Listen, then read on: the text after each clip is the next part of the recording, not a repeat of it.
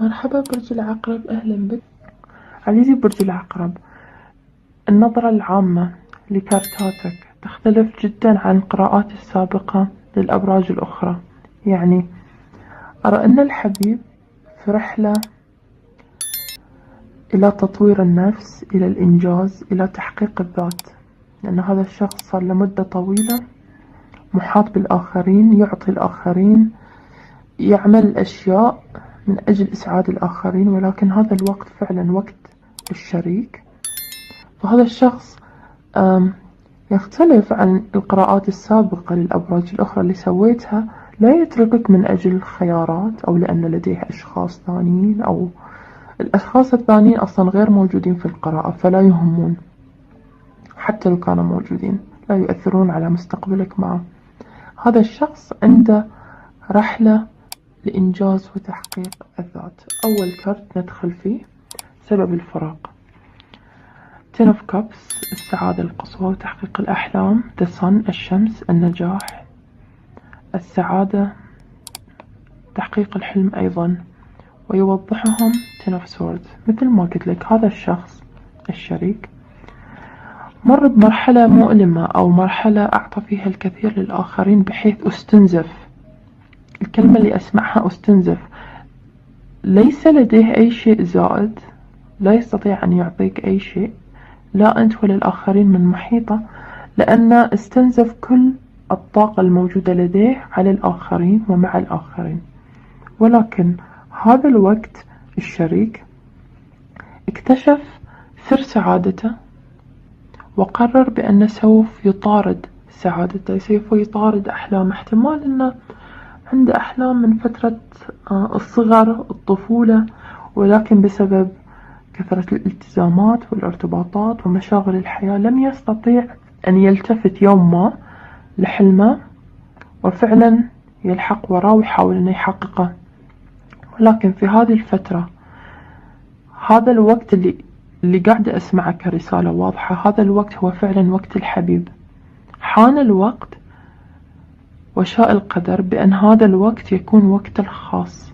هو يجلس مع نفسه يقرر ماذا يسعده على الصعيد العملي يعني في مجال المال والأعمال والبزنس والاستثمارات والوظيفة. ما الذي يسعده وكيف سيحققه؟ لأنه هو قاعد يمر بهاي المرحلة.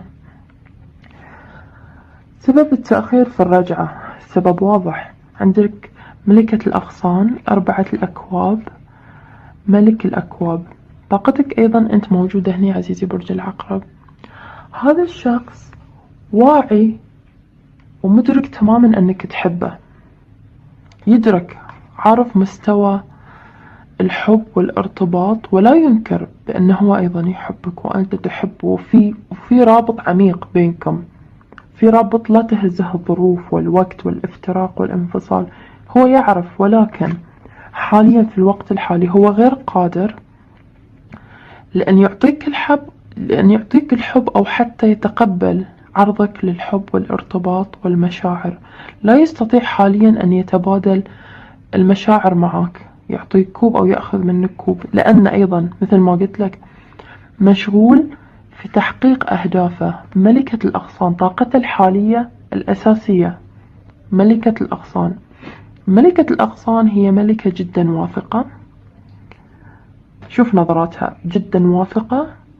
تعمل كل شيء من أجل نفسها.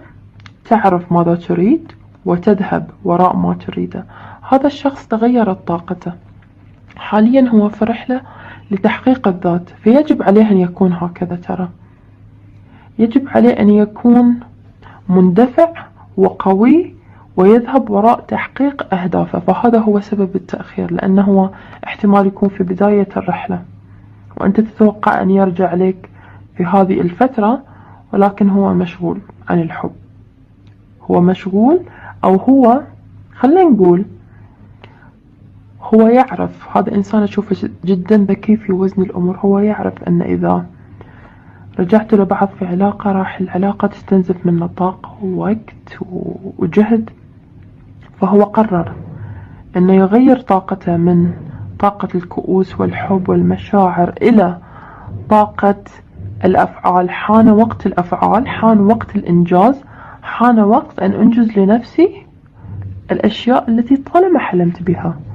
هذه هي الرسالة التي أسمعها من الحبيب عزيزي برج العقرب مشاعرك نحوه. أنت في مرحلة ترقب وانتظار. أنت تنتظر عودة الحبيب.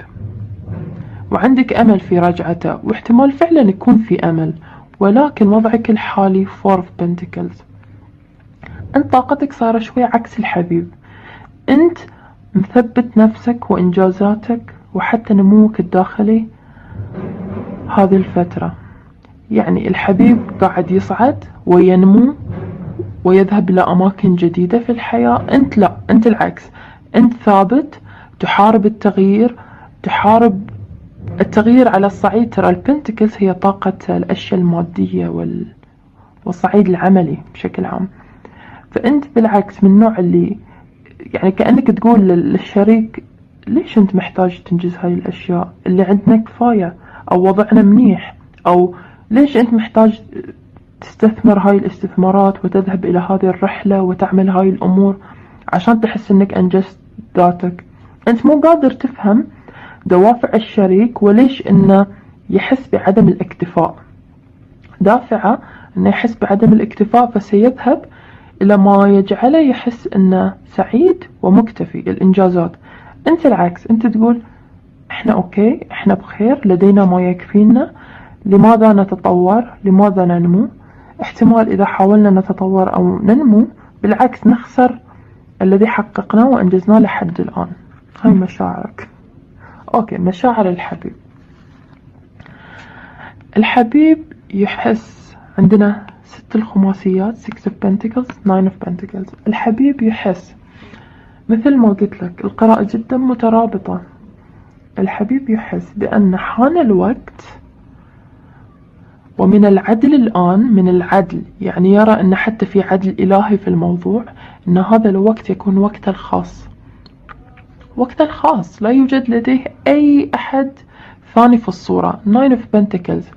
طاقة الحياة العزوبية حياة الرخاء حياة اللي أنا أنجزت كل هذه الإنجازات وأستمتع فيها لنفسي مع نفسي مع حالي يعني. ويحس أنه يستحق هذا الشيء لأن احتمال أن رحلته راح تأخذه إلى Nine of Pentacles تحقيق طموحه على الصعيد العملي وعلى الصعيد المالي. فهو راح يحس أن هذا الشيء هو ما يستحقه وهذا الشيء من حقه. وفعلا يعني من القراءة واضح أنه من حقه لأنه أحس أن الإنسان دائما كان يضع الآخرين أولا ولكن في هاي الفترة هو قاعد يعكس يضع نفسه أولا لتحقيق البالانس التوازن لأن التوازن عند هذا الشخص كان مفقود منذ فترة طويلة. لا والدليل أنه استنزف. ليس لديه ما يعطي أصلا حتى لو أراد أنه يكمل معك بنفس الطريق. ما عنده شيء يعطيك إياه بالمختصر. نيته. Three of Cups Eight of Swords. هذا الشخص في مرحلة ما كان يعاني من الصراع الداخلي بشأن كان في صراع. كان يقول لنفسه هل أبقى مع الشريك؟ وأعطيه كل ما يتمناه في العلاقة في الحب في الزواج أو أذهب من أجل تحقيق ذاتي وأرجع سعيد وقوي. كان عنده صراع في الاختيار. ولكن في النهاية الواضح من الكاردات أنه راح يطلع من هذا الصراع وراح يختار الدرب الذي كتب له والذي يستحقه.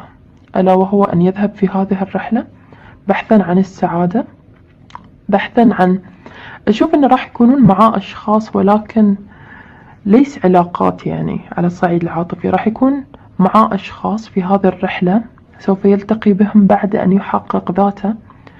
أشخاص احتمال على الصعيد العملي البزنس الاستثمار في الوظيفة. تفكيرهم مثل تفكيره يحبون الإنجازات وراح يساعدونه ويفهمونه. احتمال إذا كان في وظيفة راح يلتقي. آه، بناس بناس من نفس المستوى من نفس التفكير وراح يساعدونه.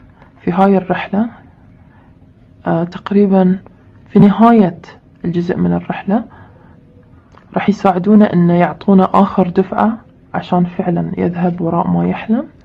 واحتمال أنه يكون إذا على صعيد السفر والاستثمارات والبحث عن عن فرص عمل جديدة راح يلتقي بناس يبحثون عن نفس الشيء فراح يكون في مساعدة. بين هذين الأشخاص ولكنها غير ليست على صعيد يعني عاطفي شريكة أخرى أو شريك آخر لا. هذا على صعيد عاطف عملي. Like minded people يعني راح يلتقي بناس نفس طريقة التفكير آه، عندهم تقريبا نفس الأهداف راح يتشاركون هالشيء. فراح يطلع من مرحلة الصراع مع النفس. خطوته القادمة. خطوته القادمة هو متجه مثل ما قلت لك إلى تحقيق الذات. بعد ما يحقق ذاته راح يوصل إلى مرحلة من الرخاء المادي والسعادة التي يستطيع بعد ما ينجز الخاتمة وينهي كل ما أراد أن ينجزه راح يوصل إلى مرحلة يستطيع أن يعطي فيها من جديد للأشخاص المحيطين فيه للزواج للأسرة الأبناء الشريك أيا ما كان اللي حوله راح يستطيع.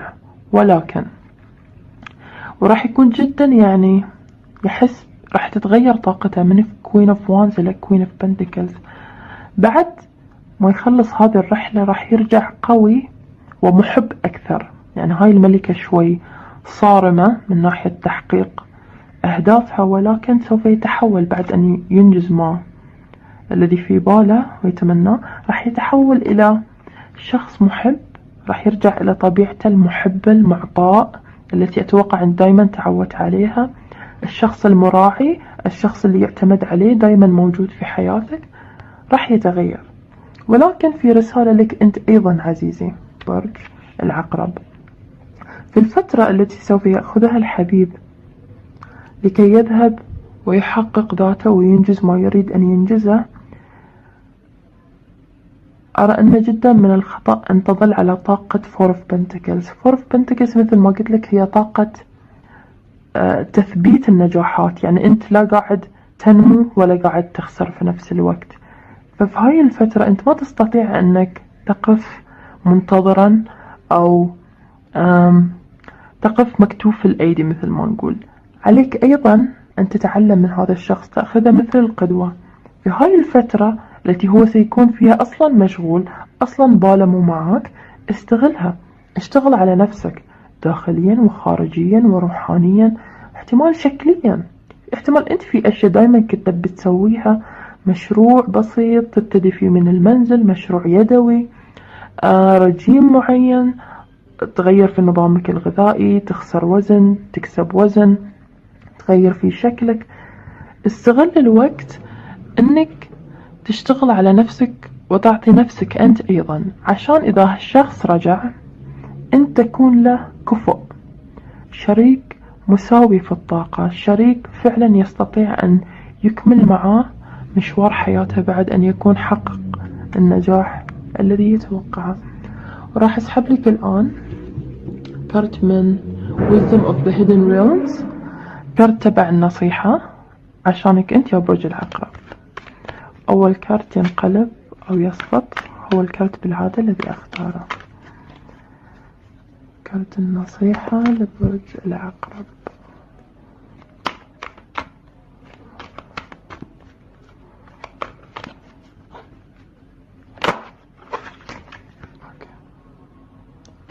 الكينج.